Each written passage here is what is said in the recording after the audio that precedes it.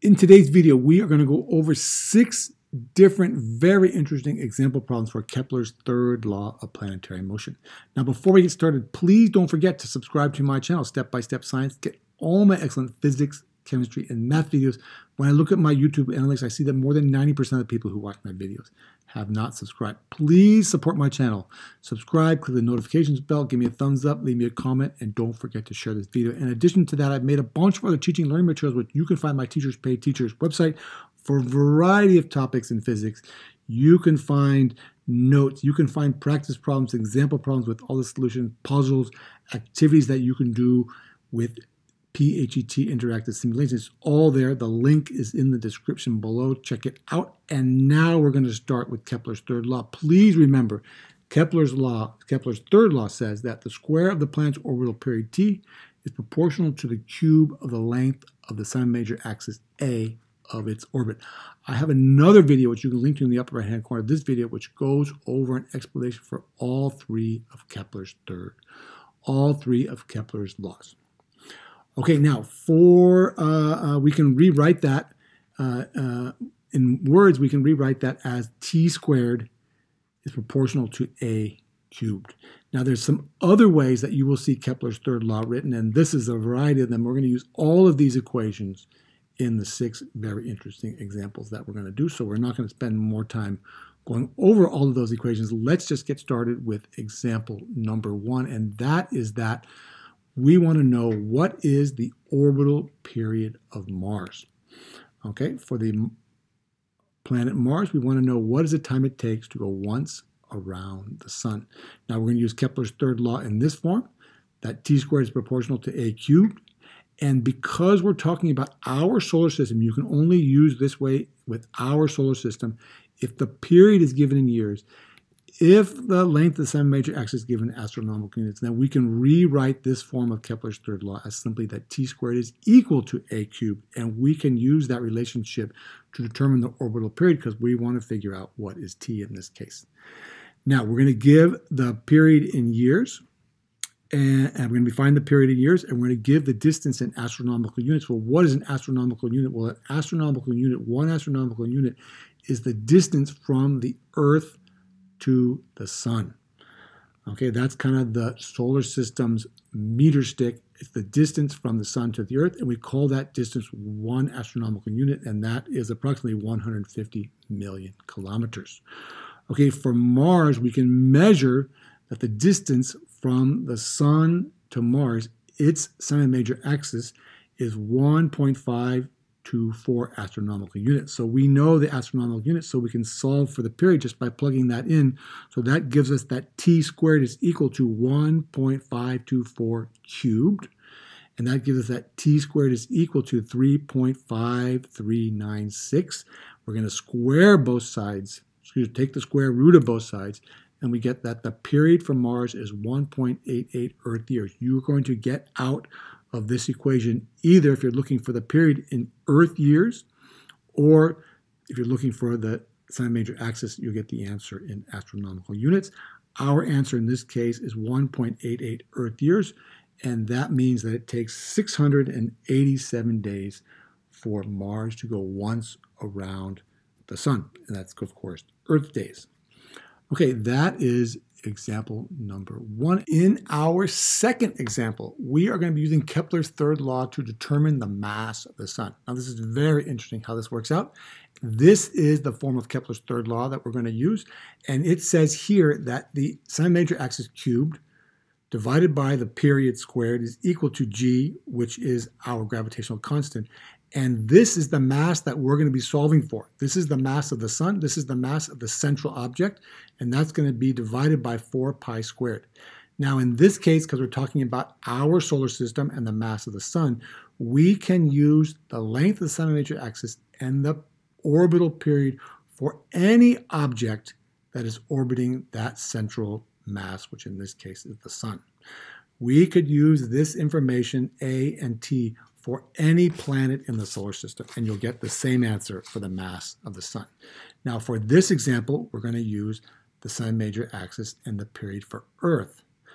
Earth has a semi-major axis, which is 150 kilometers, and has a period that is 365 days. Now we're going to take this equation and solve for the mass of the sun. So what we're going to do first is we're going to do cross multiplication and we're going to cross multiply in this direction.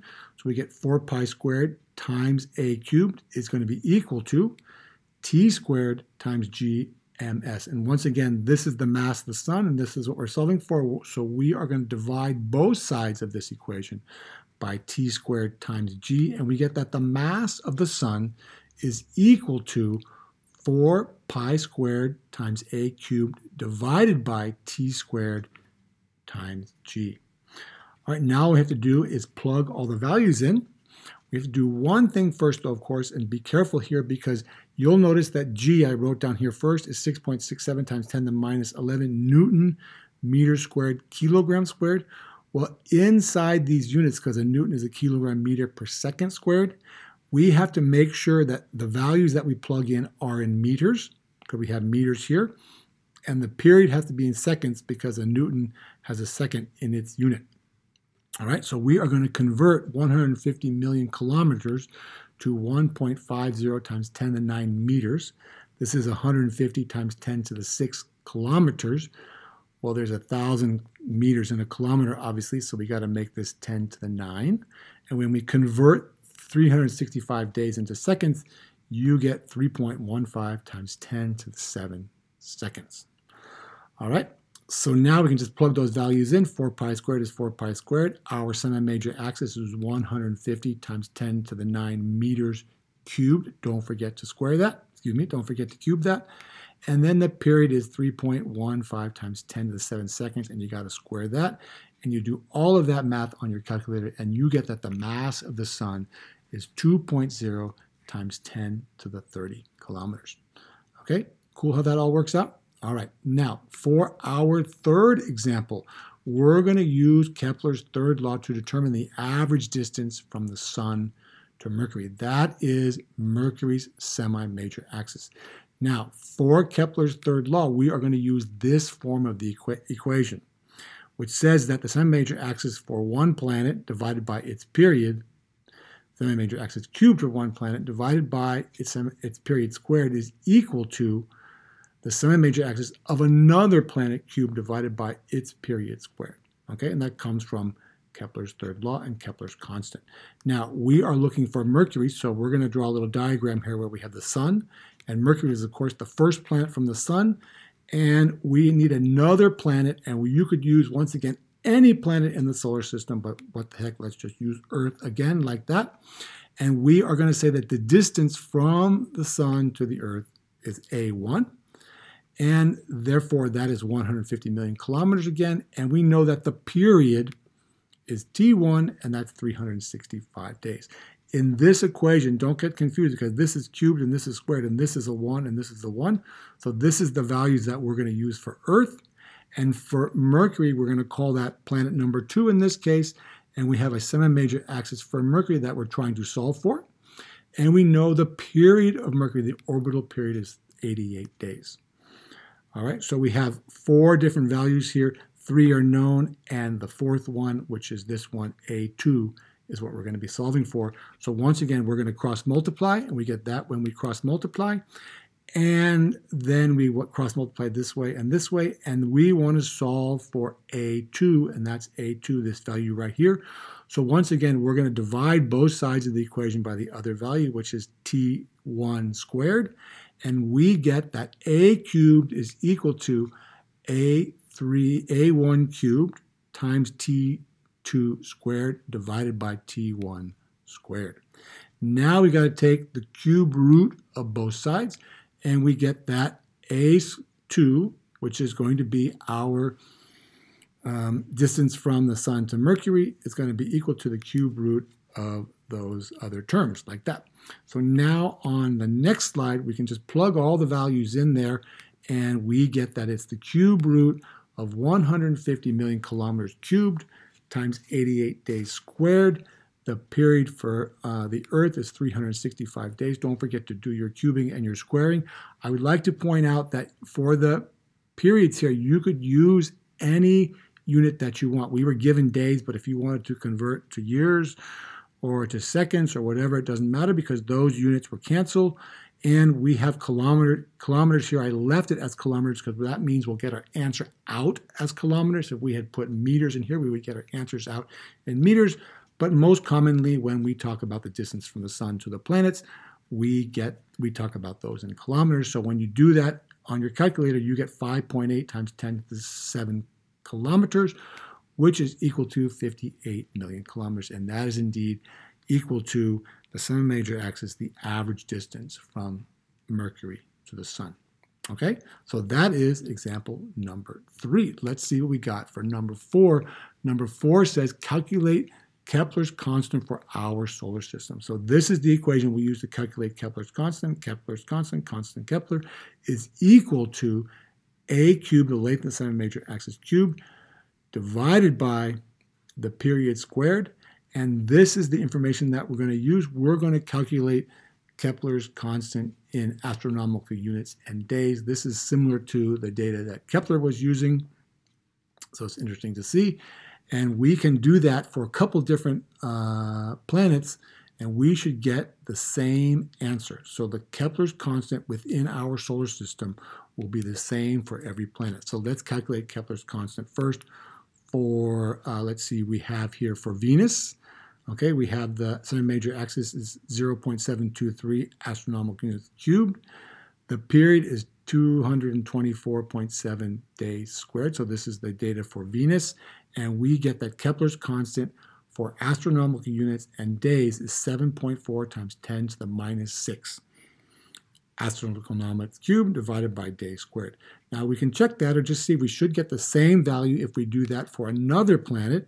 Okay, in this place we're doing that for Uranus where we get 19.19 astronomical units cubed divided by the number of days, which is 30,687 days squared. And once again, you'll see that you get the same value or very close to the same value for Kepler's constant. And you could do that for any of the planets in our solar system, and you will get that same answer, 7.50 times 10 to the minus 6 astronomical units cubed divided by day squared. Okay? All right, let's go on to example number five, which concerns Saturn and its moons. Now, you can see that we have been given some information for Titan, the largest moon of Saturn, and for Hyperion, one of the other moons of Saturn. We know that the semi-major axis for Titan is 1.22 times 10 to the 6 kilometers, and it has an orbital period of 15.95 days. Hyperion, okay, has a semi-major axis of 1.48 times 10 to the 6 kilometers. We're not given the orbital period of Hyperion because, of course, that's what we're going to figure out in part B. But in part A, we're going to figure out what is Kepler's constant for Saturn and its moons. Now, this is the equation that we're going to use to calculate Kepler's constant. It says that Kepler's constant is equal to the semi-major axis cubed divided by the period squared. Now, we could use any information for any of Saturn's moons and we'll always get the same Kepler's constant. We have been given the information for Titan, so we're going to use the information for Titan, of course. So for Titan, we're going to use a semi-major axis. Now I'm going to convert this into meters and seconds. So it's 1.22 times 10 to the 6 kilometers, which is 1.22 times 10 to the 9 meters. You got to cube that. And the period, which is 15.95 days, we are going to convert that into seconds, and you get 1.38 times 10 to the 6 seconds. Don't forget to square that. And you get that Kepler's constant for Saturn and its moons is 9.54 times 10 to the 14 meters cubed divided by seconds squared. You'll get that same answer for any of the moons of Saturn. Now, if you do that same problem for, say, Jupiter and its moons, you'll get a different Kepler's constant, but within any orbital system, Kepler's constant will always be the same. All right, so that's Kepler's constant for Saturn and its moons. And now we're going to figure out what is the orbital period for Hyperion. Now, this is similar to the previous problem that we did. And in this case, we're going to be finding the uh, orbital period for Hyperion. T is the orbital period for Hyperion. And you can say label the data. This is Titan's um, semi-major axis, Titan's period, Hyperion semi-major axis, and we're going to solve for the period of Hyperion. And we're going to use this same equation, except this time we're going to be solving for the period. These are the values for Titan, and these are the values for Hyperion. We're going to cross multiply again, and when we cross multiply, we get that, and we want to solve for the period of Hyperion, which is right here. We're going to divide both sides by the semi-major axis of Titan cubed, and we get that the period of Hyperion squared is equal to, uh, let's see, we have Hyperion's semi-major axis cubed times Titan's period squared. You got to keep all this straight, divided by the semi-major axis of Titan cubed. And then we're going to take the square root of both sides, and you get that the period of Titan is equal to the square root of those terms like that. Okay, now on the next slide, we can just plug the values in. And once again, you can see I left this in kilometers because those kilometers will cancel. Normally, when we talk about the period of plants, we talk about in days, so I left that in days. Of course, you could convert to seconds or whatever. And that gives you that the period of Hyperion, when you do all that on your calculator, is 21.3 days. Okay, so that's one way you can do that. Now, there's another way you can come up with the same answer, and we're going to use the same data, but we're going to use Kepler's constant, which we calculated this value for Kepler's constant, and we can use this equation and just solve for t. So we're going to rearrange this equation, and we get that t squared is equal to the semi-major axis cubed divided by Kepler's constant. Okay, we're looking for Hyperion, of course, the period, so we got to use the semi-major axis for Hyperion, and we can plug those values in, and now in this case, the, the Kepler's constant has meters here. We have to convert into meters. You got to remember you have to have the same units in all of your equations, okay? Or in any one of your equations, you have to have the same units for all of your terms. So here we have meters, and once again, this is 1.48 times 10 to the 6 kilometers. This is 1.48 times 10 to the 9 meters. You got to cube that, don't forget. You just divide that, take the square root, and you get the same answer um, except that it comes out in seconds here, okay, because Kepler's constant is in seconds. So now we have to convert into days, and we get 21.3 days. Okay, so that's a couple different ways you can do that problem. Okay, now for our last example, number six says that Jupiter, which is the largest planet in the solar system, it has at this at the making of this video 79 different moons, and Ganymede is the largest. Ganymede's average distance from Jupiter is 1.07 times 10 to the 6 kilometers and has an orbital period of 17.15 Earth days. And we want to know what is the mass of Jupiter. So this is another equation where we are going to find the mass. And this is the equation we're going to use just like we did previously when we found the mass of the sun. Now we have the mass of Jupiter here we can use Kepler's constant, okay? And we're going to find Kepler's constant first, so we do this a little differently. We're going to get Kepler's constant, and we're going to get it in meters and seconds. Okay, we're going to convert our semi-major axis into meters and our period into seconds, and we get that the that the Kepler's constant in meters and seconds for Jupiter is 3.21 times 10 to the 15 meter cubed second squared and we can plug that value into our equation because this is Kepler's constant here. And when we do the semi-major axis cubed divided by the period squared, you get Kepler's constant. And now we're going to solve this for uh, the mass of Jupiter, which is this term right here. So we are going to um, cross multiply here and then divide by g. We cross multiply, divide by g. We get the mass of Jupiter is equal to 4 pi squared times Kepler's constant divided by g. And we can plug those values in like that.